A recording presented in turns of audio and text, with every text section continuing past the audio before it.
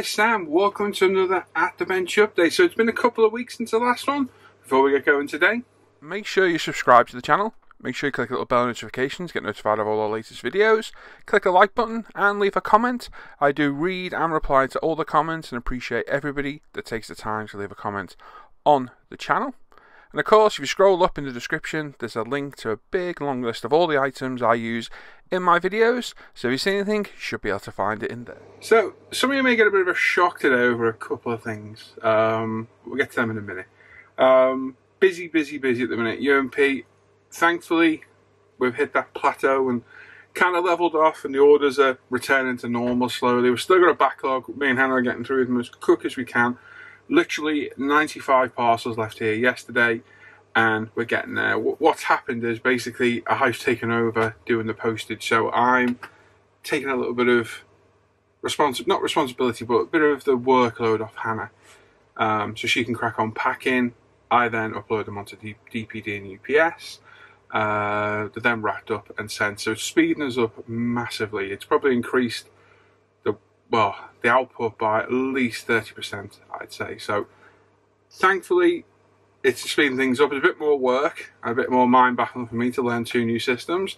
Um, but yeah, it helps Hannah, all the better. So if you haven't ordered us, please, please, please stay patient.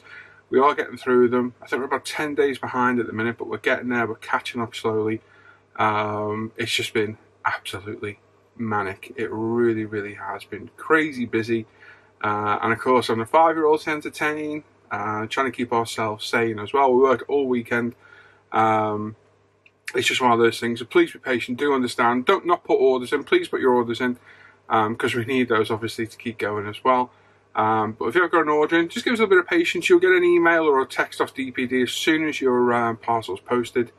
Um, so yeah, just just bear with us. We are getting there. So that's out of the way.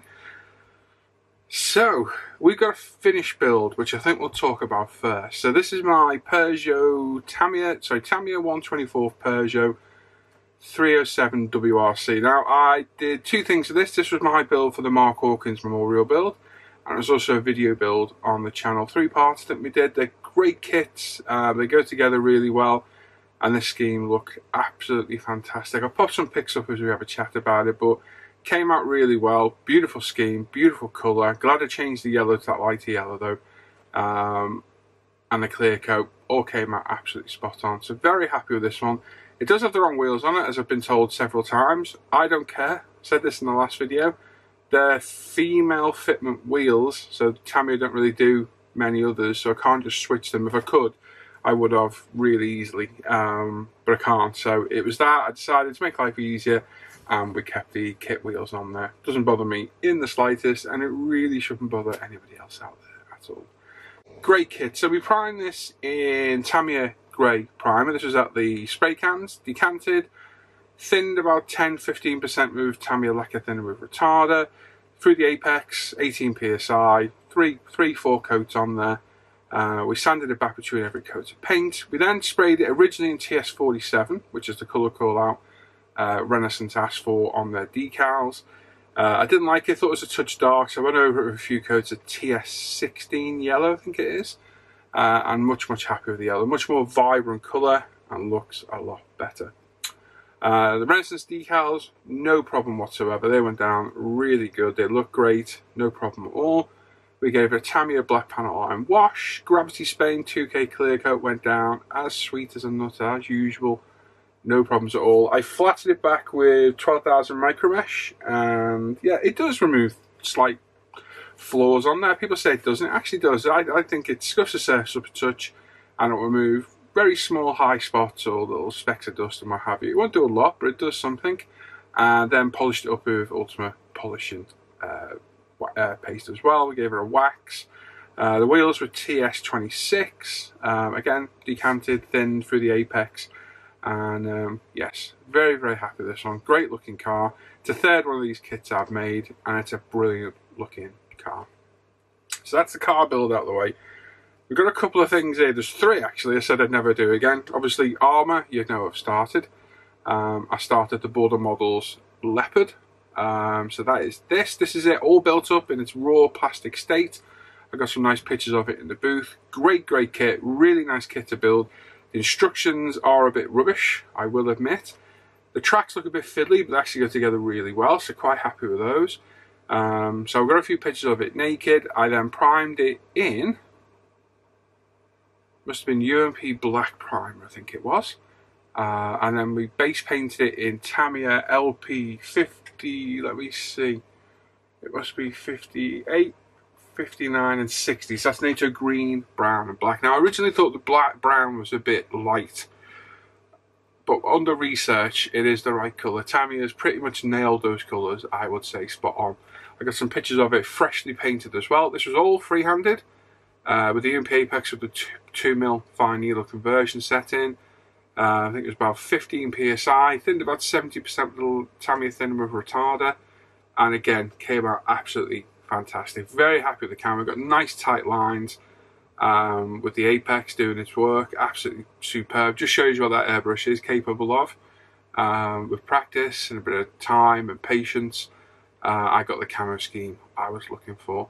Uh, I then give it a pin wash uh, after these pictures, uh, so I'll show that in a minute when we go overhead uh, with my uh, burnt umber black oil mix.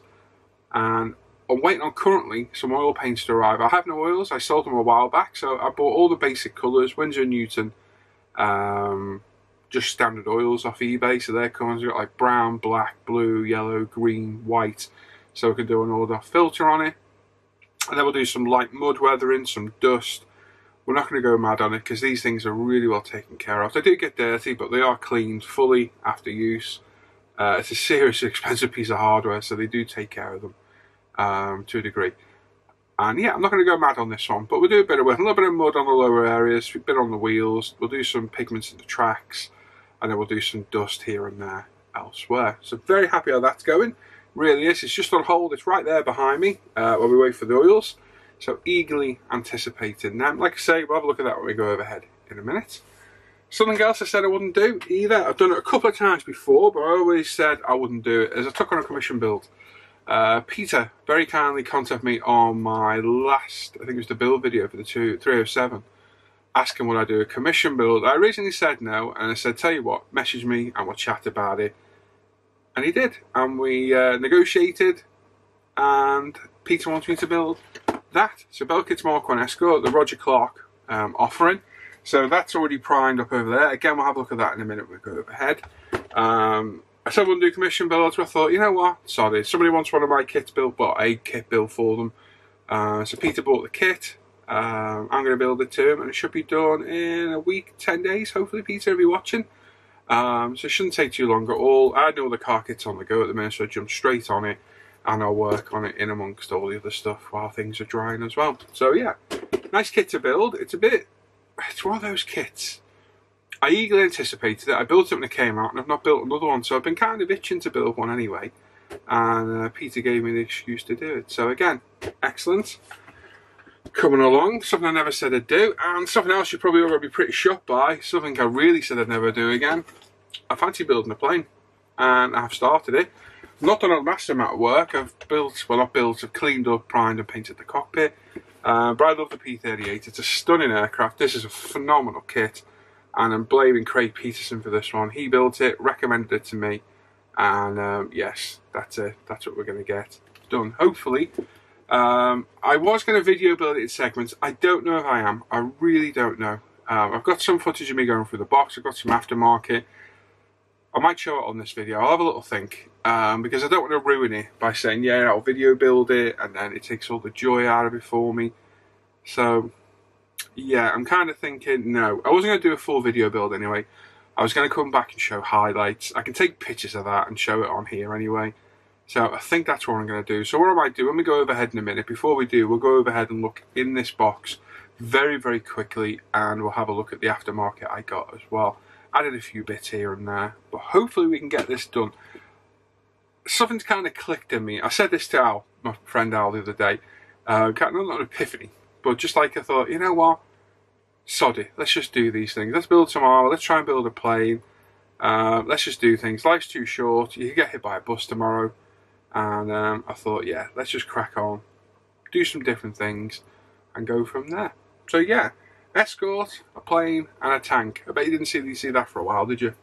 Um, but we are, and that's the plan. So hopefully we can get the P38 done. I love the Operation Vengeance story. I think we spoke about this the other week, uh, I think I might speak about it in my video actually, which you won't see that first bit sadly. Um, so yeah, I might, I might stick it in. Mm. Yeah, I did a bit of face to camera talking about it, so I might stick it in there. Um, I'll say, I'll see what it looks like when I edit it. But if not, we'll definitely go ahead and look through the box and look at some of the extras I bought with it as well. So there we are, looking very good. Um, different things I said I'd never do again, we are doing. And uh, yeah, we'll see what happens. I've already added to the army, you can't see it, but there's I've got about 11, 12 kits in the armour stash now already. Um, I'll stick a picture up if I remember. Um, so I've added a few interesting bits that catch my eye. Um, and we'll see how that goes over time. Really enjoying the armour. I've actually enjoyed it. The weathering was the one part of it I didn't enjoy that much but I actually have been. So shows you where things have changed and such. Right, let's go overhead. Let's have a look at everything we've been working on, where it's at right now. And uh, then we'll go and look at the aquarium because a lot of people ask all the time. It's had a major trim, and I mean a major trim. And uh, yes. Right then, so the Border Models Leopard. This where we're at now. It's basically the same as in the pictures, just I've added the tow cables and we're giving it a pin wash here and there. Um, so loving this, very happy with that camo. Um, very happy with the job it did. Freehand with the Apex, like I say, it shows you what the, the airbrush is capable of uh, with some practice and time and a bit of skill and care. Um, I'm really, really happy with that. Made one mistake on the back. I put that cross decal there when I believe it should go there. Some kind of light for convoys. So I've hand painted that on because you never get that decal in there anyway. Uh, and I've removed a bit of this. It won't all come off, so I'm going to probably paint over it or put a bit of mud over it, which is the beauty of armour. You can hide stuff, but a really great kit. Um, it's gone together great. Now, I put the road wheels on, but they pop off. They're only on polycaps. Uh, I put the tracks on, but they're fully movable, so I can still move them around to work on them. Uh, we'll pop the wheels off to do a bit of wet mud weathering under there uh, and then pop them back on and we'll weather the tracks um, externally as well. Much easier to do like this and try and get them on while they're weathered. Um, but it does look really good. I just happened to put the uh, convoy, is a convoy beacon on top as well. Uh, just because I like the look of it really. Um, and yeah, I'm very happy how this is going. Like I said, I'm waiting on oils to arrive. I've ordered a whole load of oils um, to weather, start weathering, and that's my next step. So this is just on hold for a few days till they arrive, which hopefully won't take long. It's got great um, articulated suspension as well, which works really well. And the tracks, although they were a bit fiddly, they've actually gone together really well. Some very careful gluing's required, uh, but really happy how that's gone. So superb kit. Let down by the instructions. I'm not going to lie, it is. It's just one of those things. The Escort I'm building for Peter. Uh, body's all been prepped, deseamed, uh, polished, prepped. We primed it. Uh, it's been painted in, uh, oh, what was it? Tamiya, Tamiya LP2, it must be, the gloss white. Um, nice vibrant gloss colour, very, very similar to the uh, the Ford white. Um, so this was done yesterday. Uh, we can now decal it, which is probably going to be today, later on this evening or this afternoon. Um, I've got some tricky blue stripes to get down the side. Excuse me, I'm covered in paint and fish food and all sorts of stuff where I've been dealing with the fish today. Uh, I'm painting, not painting the fish, obviously. Um, so I've got a tricky blue stripe to do down the side. I'm in two minds of to use the decal, which I kind of want to do because there's a pinstripe top and bottom, or to mask it. So I think we'll try the decal first. And if that doesn't have it, we'll do some very careful masking instead. Other than that, the other part of the scheme should be pretty simple. We're going to all decal today. We'll put a wash. I'm actually email Peter, unless he sees this video and comments yes or no about whether he wants a panel line wash in the door shuts. White's a bit of a funny one. It can look a bit too much, and grey looks odd, in my opinion, on it. So I don't know. I think I might message him. Uh, maybe I'll pull out one of my white ones out the case and show him. But it's a stark contrast. But then it does show the door shuts. Sadly, the door shuts aren't the door shuts aren't the deepest on this. So we'll see about that. So that's done chassis painted up as well. Uh, we'll get the body out of the way. That can then get 2K'd and cure properly for five days as my standard time. and then we can flat it, polish it, and we'll work on the running gear and what have you in the meantime. So, yeah, great kit, really enjoying that. And yes, shock horror, as you've seen, we'll jump through to the video about this first, and then come back and look what I've done. Right then, let's have a look at what we got then. So, beautiful box art, typical Tamiya box art. Myself and Tim were discussing this the other day. Uh, Timothy Iverts from the live show, just how iconic Tamiya box art is. And beautiful, beautiful box art. It's a decent sized box as well. It's not small. And like I say, this came out in, yeah? Yeah?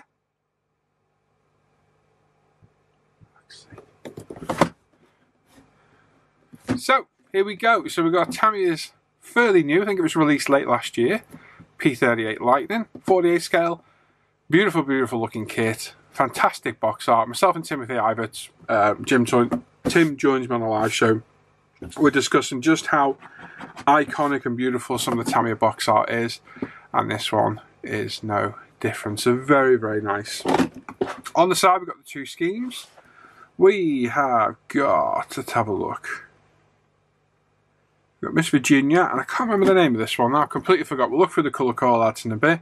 Um, but it tells you the colours you needed there. 6 olive drab, 8 7 neutral grey. Uh, and just some side profiles of the two different canopies in there too. I think the two different ones. And on the other side, I got officially licensed by Lockheed Martin. And a nice picture of that interior too, which looks really, really good out of the box to be fair. It's a very, very nice. Right, let's have a little look. So I've added a few bits to this. So in here we've added a mask set, uh, fabric belt from HGW, Eduard wheels, which are lovely, and the resin gun barrels as well, because the kit barrels got a little bit to be desired. I was going to go for the brass ones, but these were a lot cheaper, so I went for those instead. A colour call out of instructions, and basically one, two, three, four, five, six, seven, eight sprues. Mash you've got to cut out yourself, never understand those. Decals. And if you look down the back there, there's three ball bearings for the weight inside as well. Now, I can't go for every part because we'll be here all day. There's loads of reviews out there, so you can go and have a look. But um, lower wing section, I believe that is. I think it is, I can't tell actually. That must be upper. Upper wing section. Uh, all one piece beautifully moulded, absolutely phenomenal detail on there. The clear part, typical Tamiya clear part. There's a couple of different canopies there as well.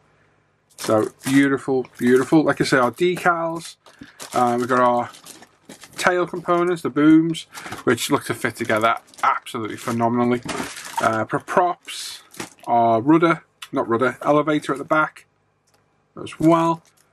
Very, very nice. Some polycaps in there too drop tanks, wheels which are replacing, loads of other components, and then some other parts as well. So these are the wheel bay components. And you can see those little cups there, that's where the nose weight sits. So there's two there. There's one for the nose section, wherever it's gone. I've lost it now. Where's that gone? Must be over here. Anyway, there's another one as well. So all your nose weights locate nice and securely and easily. So that's it. Like I said, I'm not going to go through the box. Uh, there's plenty of reviews out there. Go look at one of those. But the kit, it looks amazing. Absolutely amazing. So that is the kit itself. I'll have a quick look at our decals. These are going to be typical Tamiya new decal satin because that's what they all look like. There we go. We've got some nice metallic decals down the bottom as well. So these are not going to give us any bother really at all. I've still got the belts which we're replacing. Uh, I got terribly dirty fingernails, so I'm covered in primer from this morning's paint session. So do excuse me, I had a bit of a blockage in the airbrush and ended up covered in black primer. So yeah, we've got some nice decals there. There's plenty of no steps and what have you there. Um, but it is what it is at the end of the day. And they shouldn't give us any issues. The mass set, you've got to cut all this out yourself. I never understand the point in that, but hey, it is what it is. Like I say, I did look at aftermarket decals and I thought, you know what? I really want to do the Operation Vengeance. Colour call out. Huge, huge sheet. Like, I mean, massive. So this is what we're doing. This is Miss Virginia. As you can see, olive drab over grey. Pretty straightforward scheme. And as you can see from the top, Operation Vengeance, attack on Admiral. See, it was an Admiral. I knew it was something. Yamamoto in April 43. Then on the other side, we have got the Blue Nose. It's actually got a name. It's still a good scheme, I just don't like the blue. It's two on top, but definitely could do a bigger callouts, that's for sure. And then our instruction sheet, we've got some info on the aircraft, as usual there. We're going to have a little look and a read. You can pause and have a little look. And some information there as well. So very good and typical Tamiya instructions in the new booklet design which is much much better. Really can't go wrong with Tamiya decals at all. So no problems there. They're going to be really straightforward and easy. So the resin guns, uh, I'll try and show the difference between these and the plastic parts as we go through the build. But these look a lot better, um, worth the extra detail. But spent about £30 on aftermarket. The wheels are sagged, weighted. They look a million times better than the kit ones and they're going to add a lot more detail and look a lot better. So we went for those two. We're going for the HGW fabric belts, which after building 24 scale for so long look absolutely minuscule. So we built these before, so they're tricky, but they should be good. And I think I've got the right mass set. I think I have. It looks like it is. Uh, we've got the Eduard mass set as well. So there we go. That's the kit. That's all the aftermarket. That's the plan. Let's see if we can do it. Today is the 13th of May, uh, quarter past 12. So let's see where we get and how long this takes. So as you can see, that's what we got in the box. That's the extras we bought, just a few bits here and there. Um, I've got the cockpit, I've cleaned all the separate parts up. So you've got the instrument panel, um, the control uh, yoke, I suppose it is, the seat, everything, and it's all been painted up. Thanks to a bit of help from my buddy Al. Two mentions in this video, Al. Doing well today. Uh, we painted Mr. Hobby Aqueous H58. Uh, I have no real aircraft colours anymore. Luckily, that's interior green, and it looks to be the right colour to me. So I was given a few light coats of that, thinned with Tamiya Lacquer Thinner Retarder. Um, no, it didn't tell I. Mr. Hobby Leveling Thinner, because it's Mr. Hobby paint, I use that in it instead. And this is ready now for detail painting, a bit of decaling. Got some beautiful surface detail on it. Really, really does. Absolutely fantastic. More fish food on me there. Covered in fish food. Covered, yeah. Anyway, um, so yeah, there's a bit of decal needed, some detail painting, a wash, some very light weather. I'm not going mad. I want to enjoy this build. I don't be worrying about if it weather properly and stress and what you. I just want to enjoy the build. Um, yes, so that's the plan. So that's where that's at. It's kind of stalled over the past few days because I've been that busy with UMP. Um, I'll just put it to one side for now, but we will get back to it. Um, hoping tomorrow, I'm going to get that decal. That can sit and wait. If the oil's probably going to turn up for a few more days, so that's the plan to get back to this. So that's where we are with that as well. So yeah, an aircraft, a tank, and a car all being built in the same video with a commission build. I bet you didn't think you'd see that for a while. Okay, there we go. So that's everything we're working on. That's the Leopard, the P38, the Escort. Yes, uh, nice variety of stuff there. I can pick and choose what I work on. The cars are great, but there are stages you're going to leave them. Um, primer overnight, paint overnight, decals two days I normally leave them. The 2K I get like five days. In amongst that, I'll pick and work on the interior and the chassis and the uh, running gear, what have you. So there is loads of time. And the same with the armour. You do a weathering stage, let it dry. Same with the plane. So I'll pick and choose what I'm working on. I'll probably narrow it down to one or two kits at a time. I only started the Escort because obviously Peter wanted to build and I was kind of eager to get it going to be honest. Um, but we'll probably have a piece of armour and a car on the go and then a car and an aircraft. We'll keep doing that. So still doing the cars and hopefully bikes I enjoy. That's the next one I want to get back to. Um, and we'll keep it interesting, keep it moving along because it helps me, keeps me calm, keeps me sane, and keeps me interested in the hobby massively. Right, let's go look at the aquarium. I've got a bit of shaky phone footage because the phone's better filming the aquarium than this camera. I don't know why, I just prefers it. And uh, we'll have a little bit of chat about that as well. Okay, so here we go. So if you don't know, this is my 80 litre, no filter, no heater um, aquarium. Uh, it's basically an ecosystem filtered naturally by all the plants and bio, uh, bacteria and media in the tank. Uh, it's home to about eight endler guppies and well over 100 shrimp now. and probably about the same in snails too. The only thing I add to this is regular water changes. I CO2 dose it using a very primitive system and regular fertilizers uh, through a liquid form. And I've just given it a huge, huge trim, and I mean huge, as you can see from the beginning footage. And you can see the shrimp are all happy. They're all feeding happy. They've literally just been fed. You've got a big Amano there right in the middle of a piece of food.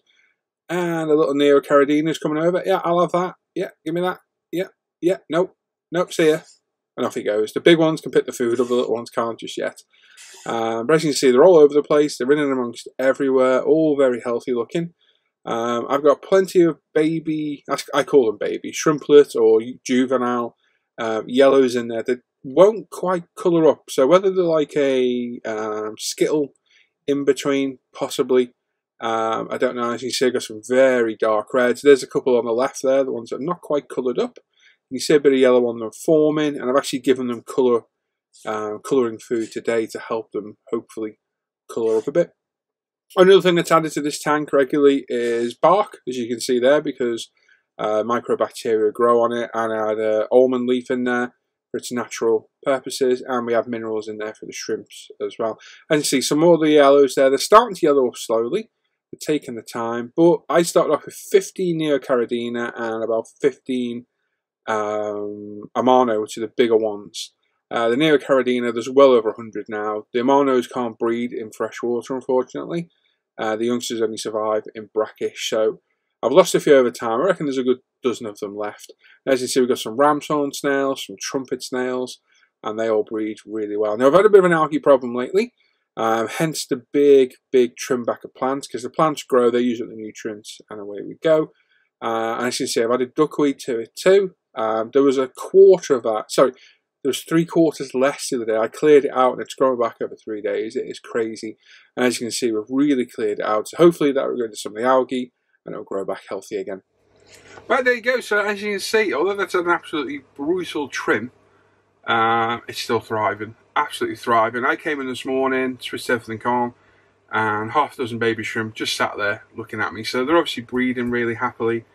Um, no problem. There's a little bit bacterial bloom in there. That's because I've done such a huge cut back on the plants. I've probably taken out over 40% of the plants in there. I had a Java moss ball like that and sadly, there's nothing I can do with them really because I've got no other tanks. James has got it in. Um, so literally, yeah, it's a bit of a waste, but there's not much you can do with it really. Um, but yeah, it's it's thriving, absolutely thriving. Everyone seems happy in there, and um, yeah, it'll get there. The algae problem I'll deal with. Um, hopefully, the duckweed will absorb excess, excess, nutrients. The reduction in light should help, and it'll just carry on thriving. We start this in September, so how many months we are in now? about eight months in, nearly nine months in. So it's it's proving a lot of people wrong. A lot of people said it wouldn't last. everything could die. Everything's really happy in there. We keep those fish levels, stocking levels low. Uh, keep the bio load low. Don't overfeed. Um, everyone is happy in there.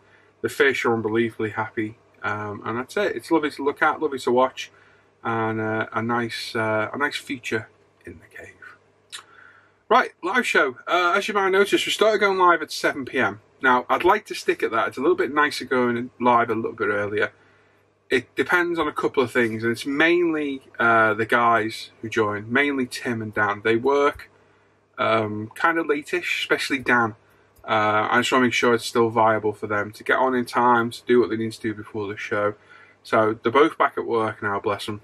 Um, so I'll have a chat with them and we'll see. But I'm hoping we can stick at seven. It's a good time. We get done a little bit sooner. We're all a bit fresher. Because um, once you start getting past 10, half 10 at night, we start to flag a little bit We're tired. And, you know, it's hard work being live. If you've not done it, you'd be surprised how hard it is to stay focused and alert and not swear for three hours or so. Um, so I'll have a chat, but hopefully we can stay live, uh, at 7 pm. Um, for sure. We implemented a different thing last week with the giveaway. I think we might try it again. I'll see what everybody thinks. Uh, incorporating the giveaway in amongst the voting for Dan section. It's to encourage more people to vote. So we'll try that again and see how it works. And uh, I'll probably ask for your feedback on Friday on that one. So stay tuned as well. Um, and that's about it today. That, that's uh, basically where we're at. Um, loads of different things on the go. Like I said, been a few you are like, what the hell? What's happened to Paul? Um, but yeah, hopefully we can get these all these things done and move on. Um, yeah, progress and let's hopefully get some of these builds finished, especially the aircraft. If I can get that P38 done, I'll be very happy. And I kind of know what's going to come after that. I think, I think I do. But I'm putting no pressure on myself. We're not buying any more planes just yet. I said about the armour, but I'm deadly serious about the planes. I don't want any pressure about video building it and yada yada yada. I'm just going to build this for me. I think it's probably the best way to do it. So there we go. Everybody staying safe, healthy. Um, I know we can go out now, but I, I still reckon stay in. We're staying in. We're staying away from people. Um, literally, in the storage unit today for some UMP stuff. We've got doctors on Thursday. And that's it. That is the highlight of our week. Uh, me and James having great fun in the garden. Um, I'll probably show it next time. I'll probably get him on with me next time as well. Um, because, yeah, he's doing really well at the minute. Very happy little boy. Although he's getting a hell of a mop of hair on him. Hannah won't cut his hair. Um, but I'll probably get James with me next time. Maybe show a video from me and James having some fun in the garden. And, uh, yeah, so stay safe, stay healthy, uh, keep modelling. Let's see all your work on the Facebook page and forum, which, by the way, there's links to in the description down below. Keep buying from us at umpretail.com, which is uh, links to in the description down below. We've got loads of new stock, and including some border models as well. Um, yeah, and the Panzer IV, absolutely superb kit. Um, I picked one up. Uh, we've got a full restock of Tamiya and Mr. Hobby on the way, and we should have our Apexes and Primers in stock in a week to 10 days. All going well. It's on the way. I know it's on the way, so it shouldn't be long now. It's been a long wait uh, but well worth it. Stick with us, and we'll have airbrushes in. There's loads of them coming as well.